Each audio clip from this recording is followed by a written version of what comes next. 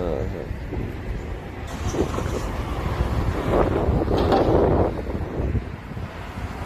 Marshall's Barbershop.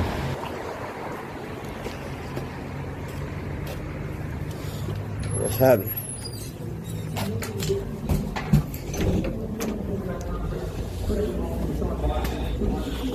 I remember I remembered it today, D. So I'm gonna get a shot of my head and see a mirror. You know, get my neck, head, all around. Now, I already used this, but I said I was gonna make me a video. So got my man Ray. He ain't never used it. He a professional. He got a license and everything. So when he done, he gonna tell you how he feel too. But that's enough of this. Cutting it out.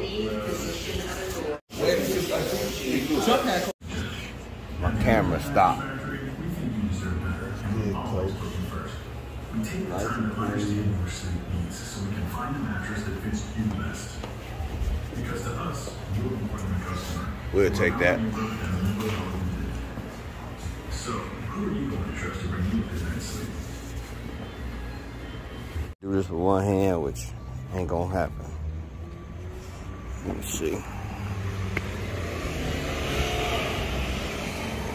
Let's see if I do it like this. Windshield got a chip in it.